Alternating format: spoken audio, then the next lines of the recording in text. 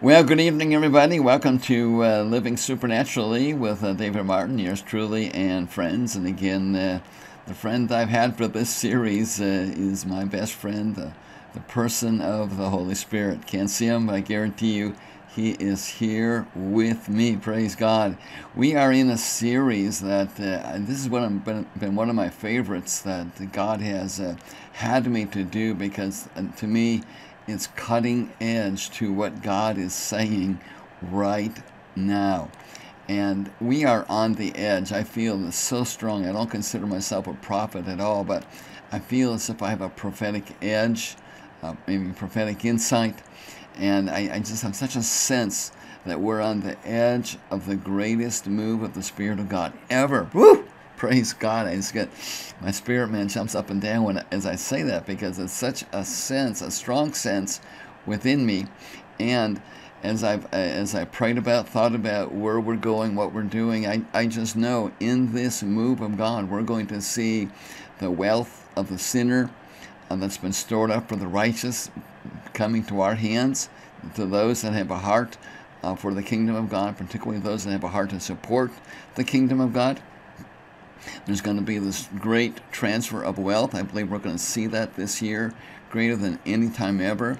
I believe we're going to see gr the greatest harvest ever. And we're going to see the greatest demonstration, signs, wonders, and miracles at a level greater than maybe ever seen before. Uh, could well be that, as Jesus said, you know, we're going to do what he did and even greater.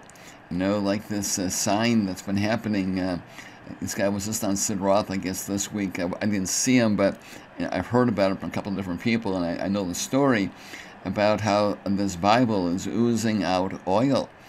200,000 gallons of oil has been collected. I mean, talk about a sign and a wonder. But this is the day we're in. We're in a day of supernatural demonstration, and God wants to use you He's going to use you if you allow Him to. And the key in this is what we have been speaking about, and, and that's what I'm calling spiritual breakthrough. Again, I'm not going to take too much time. We, we've I recanted, recanted, that's the wrong word, recant, recounted, uh, reviewed uh, a couple of visions God's given me here over the last number of weeks. But again, God showed me back in the early 90s that we were coming into this move in the Spirit of God, a, a, breakthrough. More signs, more wonders, more miracles than we've ever seen possible. But in order to step into that dimension, the fullness of it, we needed to prepare ourselves. And uh, the way we do that, God said to me, is prayer, fasting, and self denial. And the fruit of that, prayer, fasting, and self denial, is what I call sensitivity. And I, I, think of it this way if, you, if you're going to operate with sensitivity, then you need to sensitize. And again, the way we're going to sensitize is through prayer, fasting, and self denial. And God showed me that uh, the breakthrough again, the picture was a picture of a wall, a barrier, and we, the church, myself, literally in the vision, went right through a wall, but the wall was only paper thin. It was an illusion. And, and this is what you and I need to know. It doesn't matter how bad a circumstance may look in front of you, how impossible it may seem, nothing is too difficult for God. We have to know that He is not limited by natural. He's not limited by this by by you know what we can see uh, or what we can comprehend. He is a God of unlimited ability.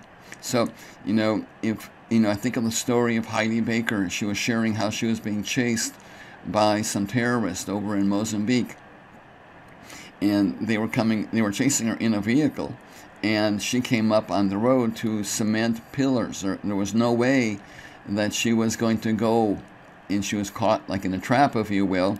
And she said, God, what do I do? And he just said, drive.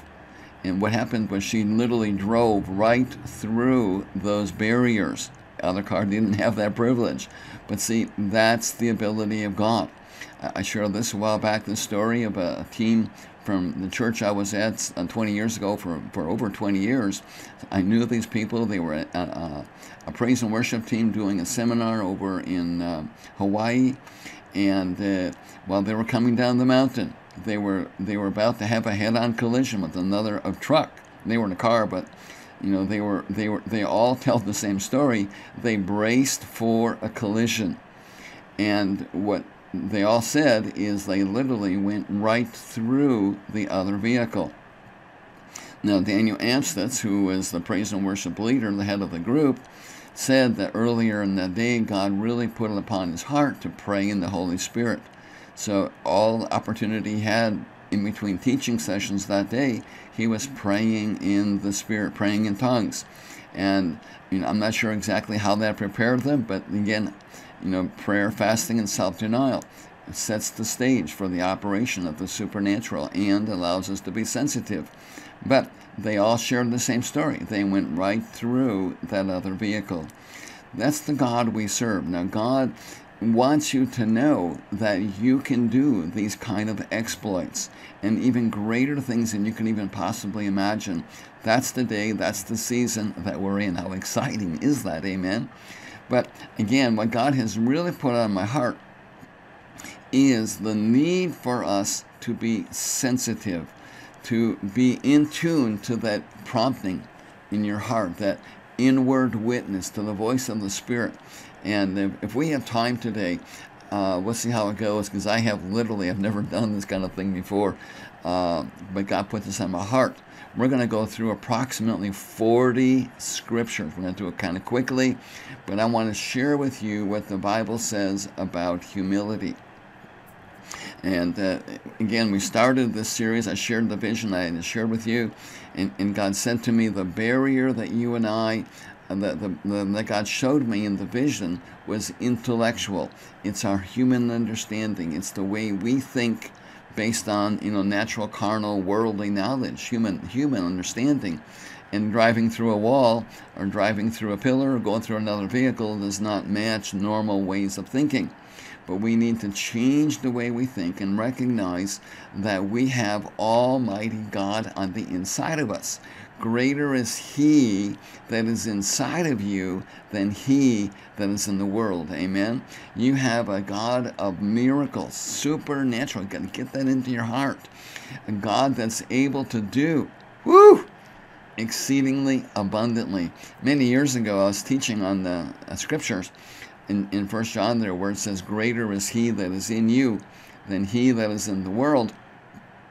And I like to use illustrations. And I ask God, God, how could I illustrate the reality of, of the greatness of you on the inside of us compared to the devil? In, you know, the one that's constantly harassing us and stealing or trying to steal, kill, and destroy. And that, you know, you know, we've got to get this uh, this uh, understanding of the greatness, the revelation. That's what it really is. It's a revelation of Christ in you. Christ in you, the hope of glory. You can do all things through Christ, the anointing in you, unlimited. Anyway, I, I asked God, how can I illustrate that? And it's kind of a funny story. Unfortunately, it's a true story, kind of embarrassing, and maybe you've heard me say this before, but back when, uh, I'm not sure how old I was, maybe late teens, maybe early 20s, but I was beyond that being a, a, a kid anyway. Uh, but I, I, was at someone's house uh, to pick them up. And we're going somewhere. So I'm waiting on the porch, waiting for the person to come out. And as I'm sitting on the step, I noticed on the step was an ant, and the ant was just, you know, minding his own business, walking across, you know, the concrete on the porch. And, uh, you know, this is a picture of real boredom, I guess. But I decided to play with the ant. Yeah, that's right. I said that. I'm going to play with the ant, little carpenter type of an ant. So it's a pretty big ant. But anyway, I, I decided to put my finger down and you know to see if he'd go around it, climb over it, or what he would do. And he, he just turned around and went the other way.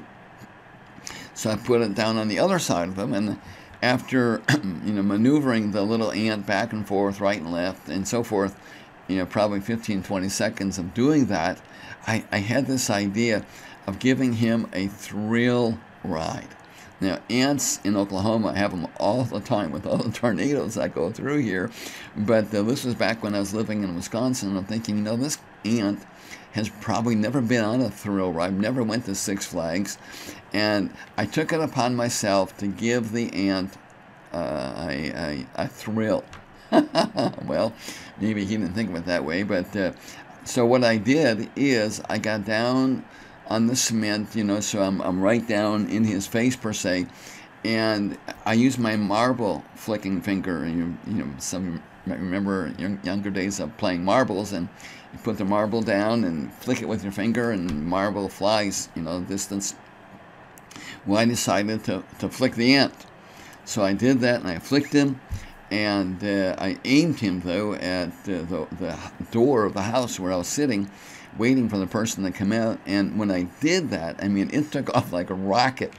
I mean, he probably went two, three feet up in the air and he smacked right into that door and came down. And to my amazement, when he came down, he came marching right back at me. I mean, literally, it's like, wow, how about some more of this? That was great fun. I'm sure that's not what he was thinking, but that's my interpretation. So, anyway, he comes back, and I, I do it again and I flick him again and get him a flying, uh, flying leap. And he hits the house again. And uh, this time he did not fare so well. And uh, when he landed, I think only one, maybe two of uh, the legs that he had, like six or eight legs, I'm not sure what, I think ants have six, but only like one was working. And he was just kind of going in a circle. And I, you know, whenever I tell the story in the church, I can always see the people in the church Oh, you did that to the ant. Come on, we all done it. You stepped on an ant hill or two in your life and took out a whole bunch of them at one time. So anyway, yeah, I did that to the ant. But anyway, Mercy came in because I saw that he was really a suffering little little guy. And so I took him out of his misery and I went over there with my pointing finger and I went, done, all over and then I brushed him off and threw him on, on, on the on the sidewalk or the grass next to the porch. Now, I know, I know, I know. I can. I'll never tell a story. I can always tell people feeling sorry for the ant, but again, we've all done it. But the point is that that's the that's the picture that God gave me when I'm asking Him, how can I illustrate this? How can I, how can I demonstrate with a story the reality of the greatness of You on the inside of us compared to the, the littleness of, of the devil. And, and the Bible tells us, I think it's Isaiah 14, or it's either Isaiah 14 or Ezekiel 28, but it talks about, you know, in Isaiah 14, it talks about the five I wills of Satan and then how he is cast down to the earth. And then Ezekiel 28 is God's response with his five I wills.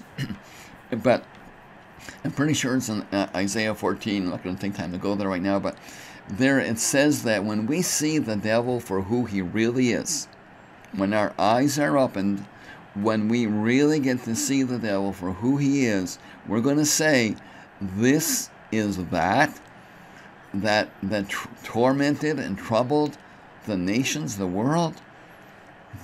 I mean, when when you get a hold of this revelation, greater is he that is inside of you when you when you grab hold of this revelation of the authority that you have in the name of Jesus the power that you have in the name of Jesus i mean all of hell trembles when you come to a place of that revelation because you're unstoppable and God wants you to have that that revelation. So when we get to heaven, probably is what he's talking about in Isaiah there 14. But when we come to that fullness of revelation, we're going to be in awe of the reality of how, how, how nothing Satan is in all of his, you know, his dominions underneath him and authorities underneath him, and that right down to the little demons you and I deal with on a daily basis. But when we see the reality of who we are in Christ it's it's the picture of the ant. It's the ant had I have in that I had total dominion over that ant. Total dominion. And that's what you and I have over the devil. Total dominion. Full authority, but we have to walk in it. We have to know we have it, number one, and we have to walk in it, number two. And that's kind of what I want to help you to understand. And right now, what God is showing me in, in where we are in this series of, of having this breakthrough is God has taken me back to, to, to these two visions. So the first vision, again, related to spiritual breakthrough. And we have to get this reality of our, unlimited ability in Christ and how we are so superior to everything in this world because of who we are. In, in, in maybe more than who we are, yeah, that's true, but it's who's inside of us. It's the Christ in you that at the name of Jesus, the Bible says, at the name of Jesus, every name named in heaven and earth and under the earth has to bow its knee. And you have use of that. You have use of that name and that authority. Hallelujah. Well, the second vision is where I want to pick up on today. And that is where, again, going to go through it in great detail. I've talked about it twice already. But in the church, I'm on the I'm on the worship team, and, and this goes back all the way back to 1983. We had just moved to Oklahoma, and the, the God gave me the only open vision I've ever had, where I mean literally my eyes were wide open and I was seeing something no one else was seeing, and what God showed me is our roof disappeared, or the ceiling, the roof, everything, and I'm looking at the sky, and God shows me this this sphere of light and from the sphere of light, which he said was symbolic of his throne room of grace, beams of light were coming down and touching different people in the church. And one person was receiving a healing, somebody else was getting a financial miracle, somebody else was getting a restoration. And what was amazing is these people weren't asking for it. God said to me, I'm ministering to those that are ministering me. They're ministering me in spirit and truth. And what he showed me in all that was the, the attitude that was in their heart was that of humility. That when we come to this place of true, pure humility, we recognize how insignificant we are in ourselves. And I guarantee you, you try to come up against any demon, any power of darkness in self, you're going to lose. I mean, the smallest demon in hell will, will, will take full advantage of you. But with the authority of Christ in you, the, the devil himself has to bow his knee when we walk in the authority with the name of Jesus. But in ourselves, we, we're, we're doners. that's not a good word. But in Christ. Amen. Everything has to be in Christ. Well, what God showed me is again these these people that were receiving this provision, the supernatural. Uh, I think it was an outpouring because they weren't asking for it. God was just blessing them, ministering to them because they were ministering to Him. Well, and then He showed me th- these illustrations. One was a, a picture of a, of a uh, car battery with a positive post and a negative post and on the positive side of a battery, you have all the power. On the negative side of the battery, you have a, a total void of power. So what happens is all the power on the positive side wants to get into the empty side. So it brings a balance in the battery. So but what happens is if you cross those two posts, like with a screwdriver, you're going to see sparks. those sparks are going to have enough heat to literally melt the tip of the screwdriver right off because there's so much power there. And what God said to me is that symbolic of us with humility. It's like we are the negative, God is the positive, and what happens is all of His power, because He is El Shaddai, He is the positive, He is the all sufficient one, amen. So all that He is wants to come inside of you. And that's what I was seeing in this vision is the, the outpouring of God coming from his throne of grace and just supernaturally blessing people. You know, you know, he says we don't need to ask for anything really, because he knows what we have need of. And that's what was happening with these people. Now the next picture he showed me was that of two magnets. And again, magnets have a plus side and a negative side, a positive and negative polarity as it would be. And if you try to put two positives together, they, they, they push apart, they repel. Two negatives do the same thing. But if you take a positive and a negative, they attract and they are actually held together by an unseen force called magnetism. Well, God said the same thing is true in the spirit realm. There's an unseen spiritual force that will connect God to us, it will attract Him to us. And again, the idea is our insufficiency, call it humility, and His all sufficiency. And when, when He sees that insufficiency in us, then He's attracted to us and everything he has wants to come inside of you. Outpouring of the Spirit is how I think of it. And when I looked up to see what I was getting, there was nothing there. Even though I was very busy for God, I made great sacrifices. And I said, God, how come? And he said to me, You're not worshiping me in spirit and truth. And that he took me on this journey, and began teaching me then what real worship is. And we looked at this again, just finishing up this recap, in Romans 12, where it says, I beseech you, brethren, by the mercies of God, present your bodies a living sacrifice. I call that death to self. It's no longer we that live, it's Christ. As Jesus says, if anyone's going to be my disciple, let him take up the cross and follow me. Well, cross, stauros in the Greek, means a place where one dies. Now, the, the, the, issue at hand that you and I need to face on, face head on and deal with is self. And we have to bring a level of death to ourself.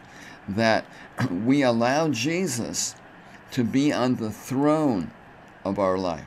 That He is the one that is leading us. He is the Lord of our lives. Now, for many people, He is not the Lord. He is their Savior, but he's not their Lord.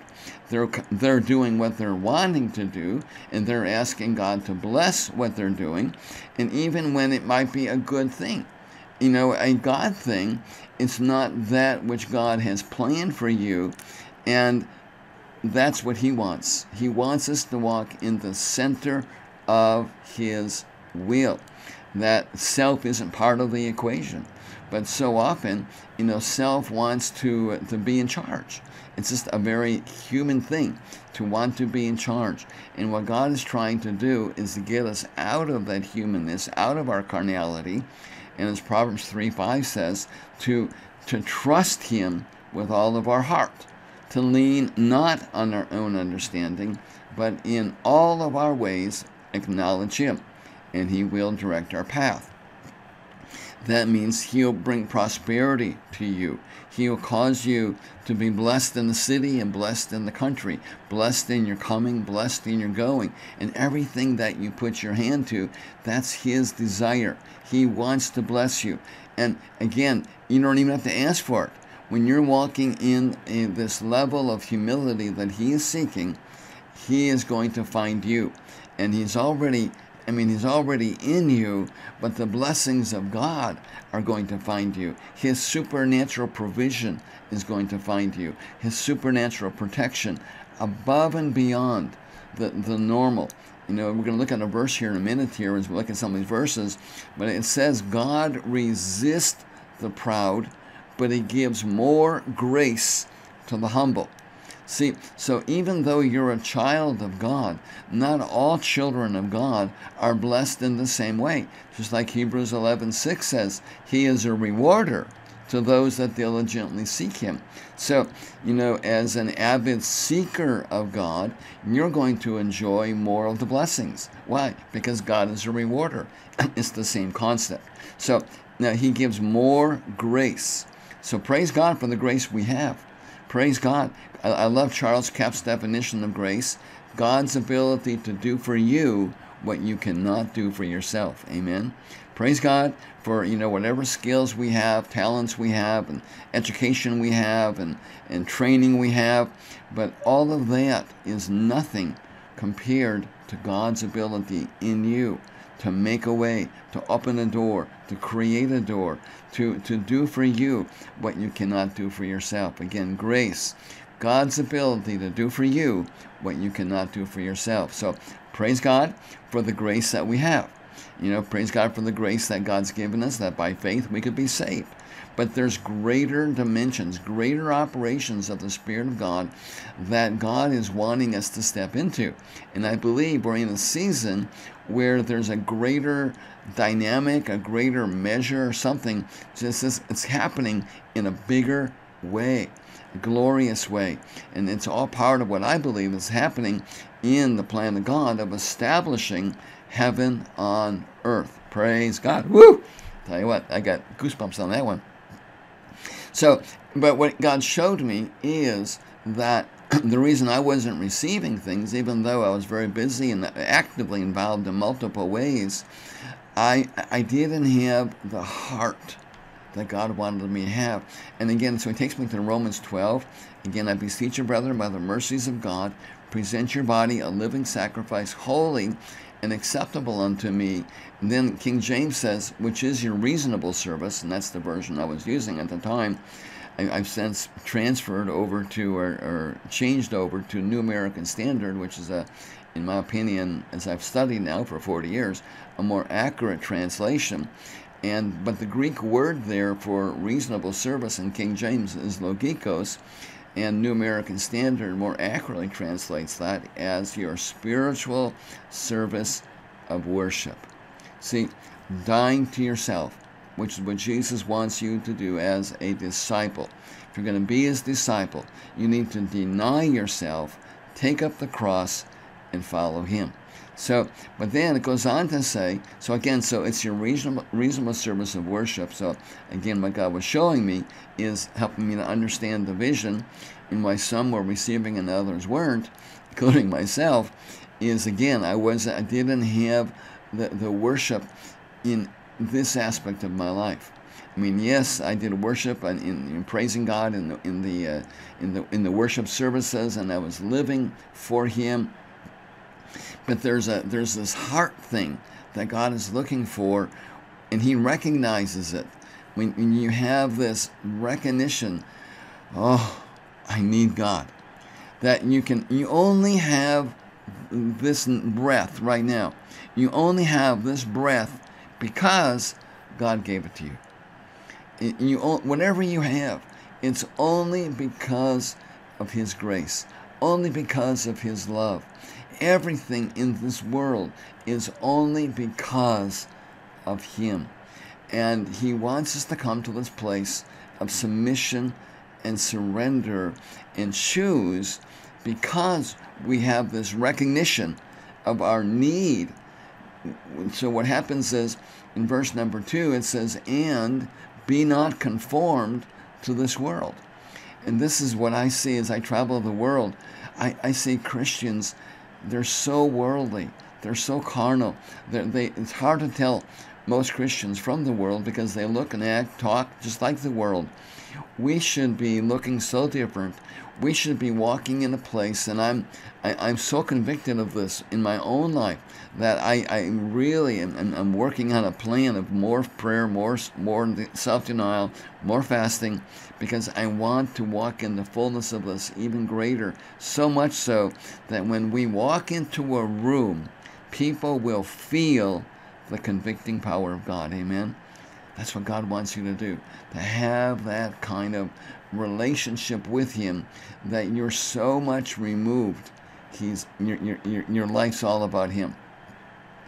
And so it goes on to say, and be not conformed to this world. And, and by the way, that's an emphatic imperative in the Greek. In other words, it's not a suggestion to not look like the world, it's a command with authority. And it says, Be not conformed to this world, but be transformed. That means it's the same word for transfiguration. Be supernaturally changed. That's the light of God I'm telling you about. That brings conviction and it brings hope and it, it, brings promise to those people that are around you because people are looking for the real deal. They're looking for hope. They're looking for promise and you have it. and he has a name. It's called Jesus. Amen. Christ in you, the hope of glory. But it says, and be not conformed, but be transformed, supernaturally changed by the renewing of your mind, that you may prove the good, the acceptable, and the perfect will of God. Amen. Now, sometimes people say God has three wills his good his good will, his acceptable will, and his perfect will. I, I don't read it that way. He has one will for you to prosper and be in good health. That will that he has, it's good, it's acceptable, and, and, and besides that, it's perfect. And what he wants you and I to do is be so submitted to him with humility that he is able to mold us and, and, and, lead us and guide us by his spirit that all the blessings of god are ours. Amen. So bottom line what he said to me is david you need to learn humility you need to walk in a greater level of humility a greater recognition of your need for me your need for my leading, your need for my word, your need for my correction, your need for my, my, my grace to go before you, to open a door, to make a way. And for me, it was challenging because, you know, I was very self reliant. I was very talented and gifted to do what I was doing. And to take my hands off the steering wheel and take my hands off the throttle and let God drive the car as it would be, it was not an easy thing. You know, it was an easy thing to let Jesus be right along next to me, driving me as my with as my co-pilot. But he made it real clear to me, David, I want to be the pilot. I want to tell you where to turn. I want to be your navigator. You know, I, just trust me. And it, it took time and I shared with you last week how, you know, when I was called to the ministry, I, I went through a six month journey of learning uh, submission, learning humility, learning to trust Him. And I'm hoping we have enough time after I go through the scriptures to tell you the reward of that because it's proof in the pudding. Incredible, absolutely incredible story of what God did as a result of my submission to Him and learning humility. So now, well, here's what I want to do. I have, I'm going to bring my Bible program up here. Of course, you're not going to see it, uh, but I'm going to be able to refer to it. And I want to take you on a journey through, again, I, I didn't count them, but there's probably close to 40 verses here. That, and obviously, I can't teach on any of them or we'll never get through and then have enough time at the end to, to share this incredible testimony with you, the, the blessings and, and the, the fruit, if you will, of uh, learning humility and submitting to Jesus. And okay, so here we're going to start. Now, these are in no specific order. And, and what I do is I try to read my Bible cover to cover every year. And as I do, I, I mark a verse and I, and I mark it with a bookmark and I, I label it and it goes into an electronic file under different categories. Probably got 50 different categories, and one of the categories is humility. So, what I've done here today is I've just pulled all the verses I marked with humility, uh, and I'm going to read them to you to show you what the Bible says, what God's Word says about humility and the reward for humility. So, hopefully, I'm going to try to do this in uh, 15 minutes. That'll give me just over 10 minutes to wrap up and share this testimony with you. So we're going to start again. There's no order here at all. It's, it's just the order that they were saved in my list. And uh, there may be some kind of divine order, but it's, if so, it's not planned. So we start in 1 Timothy 1.14. It is a trustworthy statement deserving full acceptance that Christ Jesus came into the world to save sinners, among whom I am foremost of all. That's Paul speaking. And Paul is acknowledging his need for Christ because he recognized he is a sinner. Now, you know, one of the things you, you probably know this, unless you're kind of new to the ministry here, but 40 years ago, God gave me this verse of John 14, verse 12, where Jesus said, He that believes in me, will do what I do and even greater. Well, that's been my life mission to study how to do what Jesus did and greater. And a few years ago, God dropped this incredible truth in my heart. But He said to me, If you want to do what Jesus did, then do what Jesus did. Got that? If you want to do what Jesus did, then do what Jesus did. So here is a perfect example of what is it that Jesus did. That Christ Jesus came into the world to save sinners. I'm sorry. Uh, in a trustworthy statement deserving full acceptance that Christ Jesus came into the world to save sinners. He forsook all in heaven to come to earth as a humble servant and to a point of dying a horrible death because he loves you. We need to do that same thing. Have the willingness to lay down our life for our friend. And who's what greater friend can you have than Jesus? Amen. I always talk about that beginning of my show when I'm all by myself. My greatest friend is the Holy Spirit. Well, I gotta stop putting too many comments in here. We'll never get through this. And I, I do want to share the testimony with you. Okay, it's Philippians 2, verse 7 being formed in the appear. I'm sorry, uh, starting in verse 8 here. We go back up here a little bit. Uh, verse 8, there we go. Being found in the appearance as a man. This is actually the verse I was thinking of. Uh, it was the last verse. Of, it worked, but that's really Paul's testimony. But here's Jesus's testimony. in other words, doing what he did. Being found in the appearance as a man, he humbled himself by becoming obedient to the point of death, even death on the cross ultimate humility. Philippians, uh, uh, actually, it's the same verse. I marked it twice here. It started actually. Let me go back here because actually started in verse number six. Who, although he existed in the form of God, did not regard equality with God a thing to be grasped. Seven, but emptied himself, taking the form of a bondservant, and being made in the likeness of man. In the verse we just read, being found in the appearance of a man, he humbled himself by becoming obedient to the point of death, even death on the cross. 1 Peter 5, it says, uh, verse number 5 Younger men likewise be subject to your elders, and all of you clothe yourselves with humility toward one another. For God is opposed to the proud, but he gives grace to the humble whenever I read this, I, I, I love the concept here where it says, clothe yourselves with humility. So, you know, by, over and over, we see this phrase to put on the new man, put on the garment of Christ. Here, to clothe yourselves. Now, same thing, you got to put on the garment. if you never thought of it before, Christianity is a put on. You have to put on the garment of praise. You have to put on the cloth of humility. You have to put on the new man. Amen? It's a choice, just like getting dressed in the morning.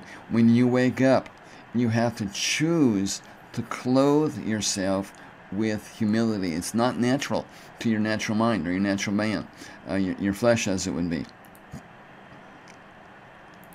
Going forward here, and we come to Romans 12, uh, verse number 16, and it says, Be of the same mind one toward another, mind not high things, but condescend to men of low estate. Be not wise in your own conceits. Again, humility is going to look at all people equally. You're not going to look at someone, you know, of low esteem as inferior to you but we're going to look at all people, you know, with unconditional love.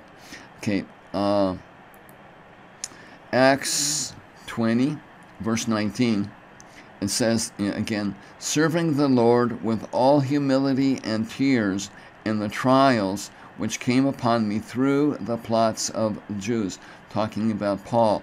And again, how he, he, he walked his journey of life with humility and it wasn't hard, it wasn't it wasn't always easy. Paul had a lot of trials and tribulations, and we need to keep the heart, a mindset of humility, regardless of the conditions of the world or, the, or in our own personal lives. Luke 18, verse 14 I tell you, this man went to his house justified rather than the other. For everyone who exalts himself will be humbled, but he who humbles himself will be exalted. And that word exalted means brought to a higher place. Brought to a place, actually, one definition means brought to a place of prosperity. And when you hear the testimony, you're going to see how that played out in my own life. Uh, uh, Luke 18, verse 14, I tell you, this man went down to his house justified rather than the other. For everyone that exalted himself shall be abased, and to him that humbled himself shall be exalted. Next, Luke 9, uh, 48. And he said, Whoever receives this child in my name receives me, and whoever receives me receives him who sent me. For the one who is least among all of you, this is the one who is great. Amen. The more you walk in humility, the greater you are in the eyes of God. Luke 1, verse 52, it says, He has brought down rulers from their thrones and has exalted those who were humbled. Exalted, exalted again means to bring to a higher place and bring to a place of blessing and prosperity. Okay, next one. Matthew 18, verse 4 Whoever then humbles himself as this child, he is greater in the kingdom of heaven. Zephaniah 3, verse 12 I will leave among you a humble and lowly people, and they will take refuge in the name of the Lord. Amen. Matthew, jumping around here, Matthew 21, verse 42. Uh, that one actually doesn't even belong in here. I'm going to skip over that one. It's not marked. We'll go to Isaiah 66, verse 2. For my hand made all these things, God speaking. Thus all these things came into being, declares the Lord. But to this one I will look, to him who is humble and contrite of spirit, who trembles at my word. Spend the whole hour talking about this and the, and the need we have for the reverential fear of the Lord, trembling at his word, humble and contrite. Amen. What's going to happen for that one? He's going to be blessed. Uh, on to the next one. Somebody's coming up twice. Isaiah 2, verse 17. The pride of man will be humbled, and the loftiness of men will be abased, and the Lord alone will be exalted in that day. Isaiah 2, verse 12. It says, For the Lord of hosts will have a day of reckoning against everyone who is proud and lofty, and against everyone who is lifted up that he may be abased. In other words, if you don't humble yourself, God will do it for you. Don't want to go there. Isaiah, oh, no, in that him twice again. Proverbs 29, uh, verse 23. A man's pride will bring him low, but a humble spirit will obtain honor. Proverbs 16, verse 19. It is better to be humble in the spirit with the lowly than to divide the spoil with the proud. Proverbs 27, 19. No, that's another one that doesn't belong there. Sorry about that. Uh, Proverbs 11, 2. When pride comes, then comes dishonor, but with the humble is wisdom. So, you know, what I'm, what I'm hoping to see here is the blessings of being humble, the, the, how God God's viewpoint of humility. Uh, Psalm 146, verse 8 The Lord opens the eyes of the blind, the Lord raises up those who are bowed down, the Lord loves the righteous. Psalm 145, verse 14 The Lord sustains all who fall and raises up all who are bowed down. a, a position of humility. You know, some so often, you know, people say, you know, I don't have to lift my hands at church to worship God. You know, you don't have to, you get to. But God honors positions of humility. So one position of humility is lifting your hands. Another position of humility is bowing down.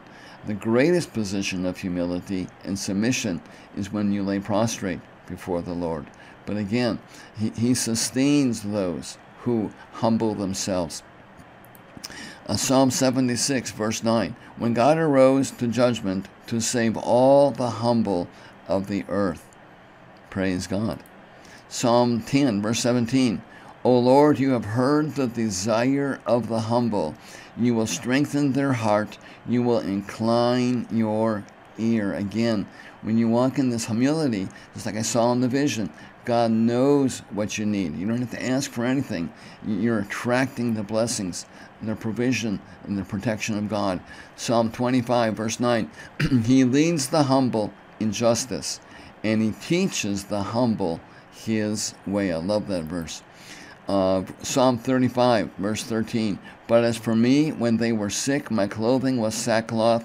I humbled my soul with fasting and my prayer kept returning to my bosom. See again, you know, fasting is is one of the facets or operations of humility because when you're fasting, you're recognizing your need for God. You're recognizing your your your your wanting to hear from him and that you're you're you're dying to yourself. Gotta keep going, can't talk. Psalm 51, verse 17 The sacrifices of God are a broken spirit, a broken and contrite heart. O God, you will not despise. And again, contrite is another synonym for humility.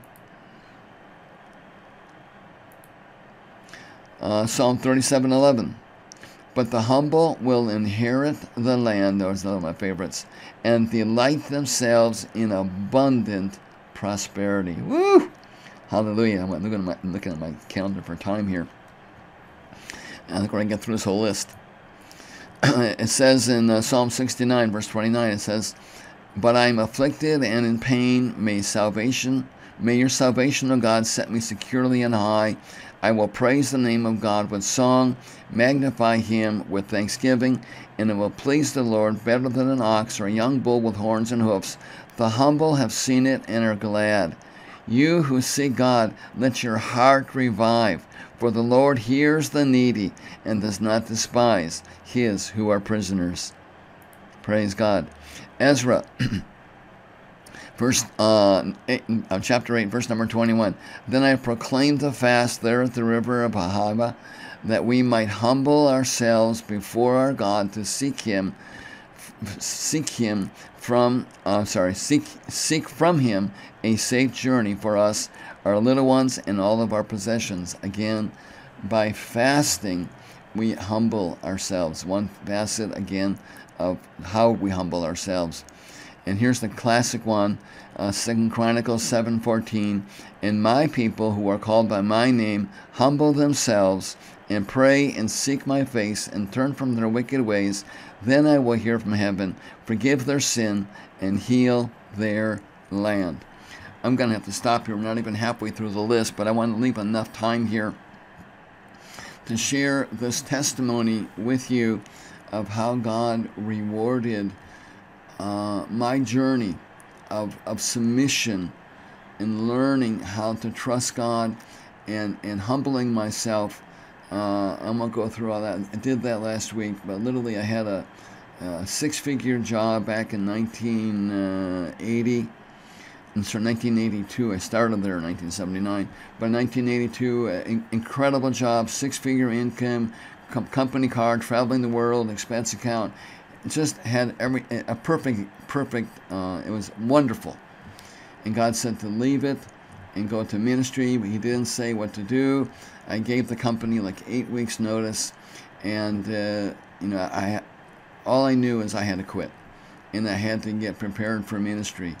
Well, what happened is first off, I had a company car. I had to turn the company car in, and uh, so I, I, went to the dealership, and uh, I had total confidence in God, and so I bought a new car, not a big fancy car, a Subaru car. Uh, but I made a down payment and I left a balance of uh, eight thousand dollars. And they said to me, "How are you going to pay for it?" And I, in, in total confidence, because I've always seen God do such great things, I just said, uh, well, I'll, I'll, pay cash in, in, 90 days. No idea where that was going to come from. Uh, but that's what I did. So, again, uh, we didn't have a lot of savings.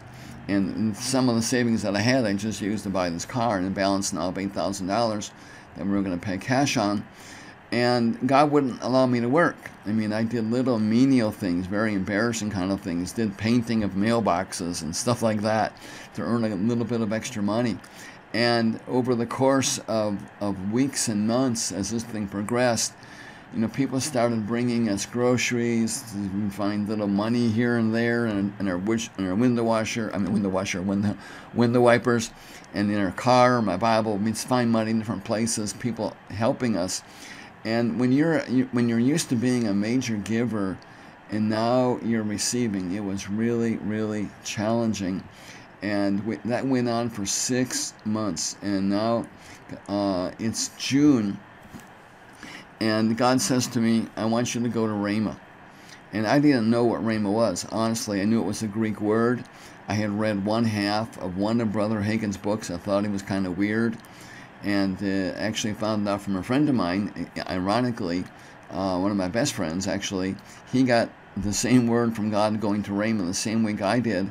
And it was it's really cool, but he told me that Rhema was Brother Hagin's school. Uh, oh man. And I, I discovered uh, I, I, was just very immature because Brother Hagin was a wonderful man of God. And I, I just didn't have uh, enough knowledge when I read half of one book. But anyway, God sent me to Rhema and, uh, and he told me that in June. So my friend Bill and I, he's going to go to Rhema too. So we decided from Wisconsin to come down to Rhema to check out housing.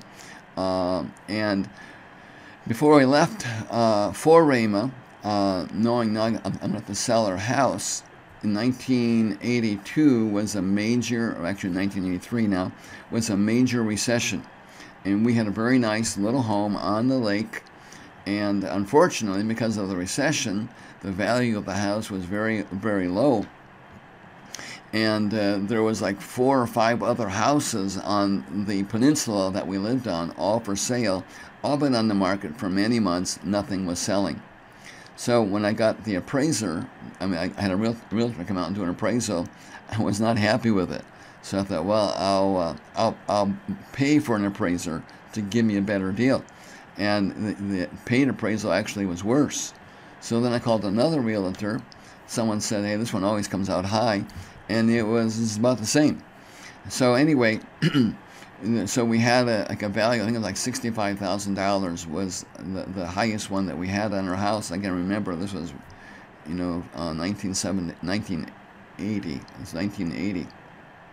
1980, I think 19, 1983, I'll get it right. June of no, June of 82. I'll get it right here. June of 82. Because we came to in 1982.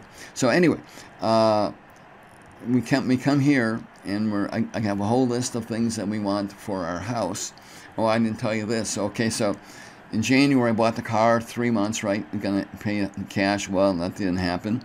So I paid interest and said, just give me another 90 days.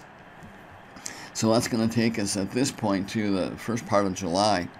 So anyway, now we're here in June. We're down looking at houses, and Bill and I looked at just uh, I don't want to say hundreds, but dozens of houses, and we didn't find anything that you know. Well, he found some he liked. I found some that were okay, but nothing that really was what we really wanted. But we spent you know a whole week looking, and. Uh, also, I, I was able to look for a job. God said to me, now you can find a job. Well, in the first couple of days, I found a job here as a marketing director for a company. So, anyway, uh, the, the day before we left, uh, in a Bible study, God speaks to me and He said, uh, sell your house back in Wisconsin yourself. Don't use a realtor. Sell it yourself. And he also said to me, when you sell it, sell it for $8,000 over the highest price that you got. So, okay, they're going to do that.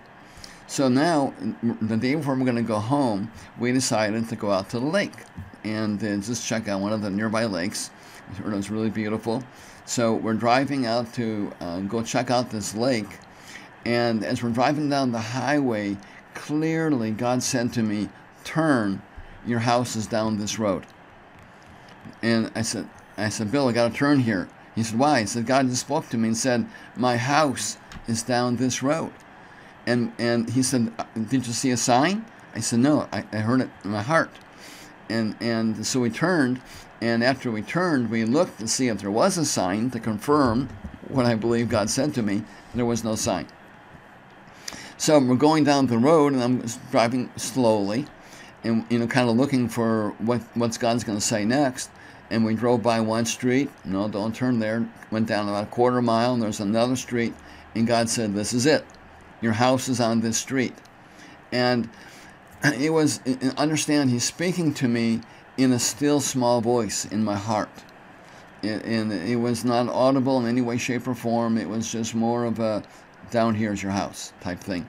So i turned and there was eight houses on this road. They were it's a brand new subdivision addition as they say down here. Uh, so we drove down to the end of the road a couple hundred yards and back and all the all the houses were on acreage, so you know it was nice properties or nice houses, but there was none for sale. They were all brand new, but none for sale. So I saw a guy cutting his grass, and I said uh, to this guy, I said, being forward, which one of these houses is for sale? And he laughed and he said, none of them. They're all they're all you know like less than two years old, and they're they're it's a brand new area. And he said, There's none, none that are for sale that I know of.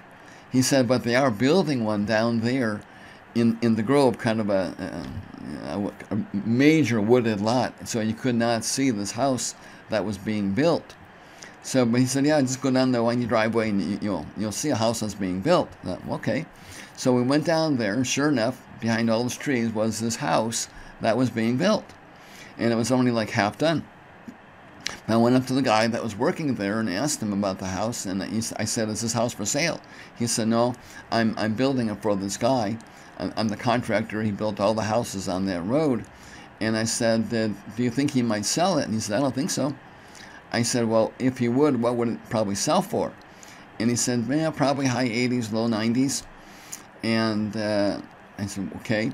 Now remember, God told me to sell my house for uh, $8,000 over what it was appraised for, which meant we had 65000 plus 8 to work with. But anyway, God, God also said to me, and I'll tell you this, He said, Do not pay more for your house here than what you're selling your house for there. Okay? Now, also, I knew in the back of my mind that $8,000 was due at the bank. And I was kind of thinking, well, maybe that's that $8,000 over the value so I already calculated that in, which means I can only pay 65000 for this house. So anyway, I asked the guy for the owner's name and number, and I called the guy up, and uh, I said, "Hey, I'm interested in your house. Would you would you be interested in selling it?" And he said, "No." I said, "Well, let me ask you a question. If you were to consider selling it, what what do you think it's worth?" and again, did you not hear me? I'm not interested in selling it. I said, I know, I, I know what he said, but tell me, what, what, what do you think you might sell for? And he said, I'm not thinking about selling it, but the house is probably worth, you know, what the other guy said, you know, high 80s, something like that, maybe low 90s, is what, what the value of the properties are there. I said, tell you what, I'm interested in buying your house, but I can only spend $65,000. So tell me, I'll tell you what, when you change your mind, call me. He laughed. He said, I am not going to change my mind. I said, I understand. But just, would you do me a favor and just write my name and number down? He did. Well, two weeks later, he called me and we got the house. He, and because of not having a job, and just starting a new job, we couldn't get financing. He even financed it for us. And, that is the provision of God. That's the favor of God. Whew. That's what He's doing right now. That's what He wants to do in your life to lead you and guide you and, and, and direct you supernaturally to the blessings and the provision of God in a greater way than you've maybe ever experienced before. I'm about out of time. We're at one hour here. Give me another couple minutes. I'll finish up because the story gets even gooder. So I put an ad in the paper to sell our house for $8,000 over the highest value. And we went on a little mini vacation. Some folks treated us to a week away. And so we planned, the, we planned an open house for the day after we came back. We come back from this little mini vacation, and there's a note on our door that says, Call me. We'd like to see your house. We saw your ad in the paper for the open house for Sunday. So we're still unloading our car, but I called the number right away, and the people came out and they bought the house. Cash. $8,000 over the highest appraisal value, which gave me the money to pay off the car just in time that was due well, within the closing of the house. That's our God. When you humble yourself, He's going to exalt you. He is going to promote you. He is going to put you into places of opportunity. Yeah, there's going to be, you know, there's going to be segues in the journey, and there's going to be some ups, and there's going to be some downs, but, you know, we go through the valleys of the shadow of death. We fear no evil because He knows He's with us, and He's never going to leave us. He's never going to forsake us. And many times, you know, the, the low places, the valleys, is where we're going to be learning some things that we need to get to the next mountaintop. I'm telling you, friend, we serve an awesome God. Greater is He that is in you than He that is in the world. He wants you to, to walk at a higher level. And if we can just choose to humble ourselves, we'll watch this incredible work of the Holy Spirit beyond anything you could ever ask, think, or imagine. Amen. Well, praise God. Thank you again for the privilege you give me here week after week to speak into your life. I, I, it's really an honor for me to do this. And I thank you for helping us uh, to pay our bills. And, uh, you know, costs money to do all the stuff we do and, and, mission trips and traveling around the country. This tomorrow, actually Thursday, I'm leaving on a two-week trip for Pennsylvania and Maryland, and then we get back, we're going to be going off uh, in May to Germany and, and France. But you know, it takes money to run the ministry. Gospel's free, but it takes money, and the only way we're able to do it is faithful partners. So, would you pray about being a faithful partner, or maybe just make a single donation, whatever? Help us to make a difference. We've got a vision for over 100 million souls to be saved, discipled, and serving God. And you can help that to become a reality. And when you get to heaven, you can hear all these people say, Thank you for giving to the Lord. Amen. Hey, I'm going to be on the road next week, but we're going to do it from Pennsylvania. So I'll be back here next Tuesday, and uh, we'll see what God has planned. I don't not sure where we're going just yet. If we're going to continue any more in this or something different, but by next Tuesday, we'll know. Have another great time together. Again, thank you for your prayers. Thank you for your support. Thank you for subscribing and for liking and sharing these videos. It helps us to grow, increase our reach, and uh, until next time, blessings to you.